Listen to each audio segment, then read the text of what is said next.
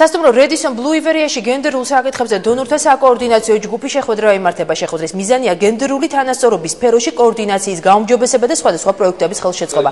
საკოორდინაციო შეხვედრაში, რომელიც გაეროს პროექტის ფარგლებში იმართება, მონაწილეობას ამ თემაზე მომუშავე სხვადასხვა ორგანიზაციები და პარლამენტის გენდერული საბჭოს თავმჯდომარე იღებენ. გაეროს ერთობლივი პროექტი გენდერული თანასწორობის მხარდასაჭერად საქართველოში 2006 წლიდან მოქმედებს. ამ ფორმატში შეხვედრები რეგულარულად იმართება წელს კი ეს დონორებთან პირველი შეხვედრაა. განაჩლებასთან პროექტი 2006 წლიდან მუშაობს საქართველოში და მისი ძალისხმევით მრავალი მნიშვნელოვანი შედეგი იქნა მიღწეული. ერთ-ერთი უმნიშვნელოვანესი საკითხი გახლავთ ეროვნული სამოქმედო გეგმის შემუშავება, რომელიც ვფიქრობ მნიშვნელოვან შედეგებს მოუტანს საქართველოს. დღეს არის დონორებთან შეხვედრა იმ ორგანიზაციებთან, რომელიც უნდა დაეხმაროს საქართველოს გენდერული თანასწორობის უფრო მეტად გაძლიერებაში.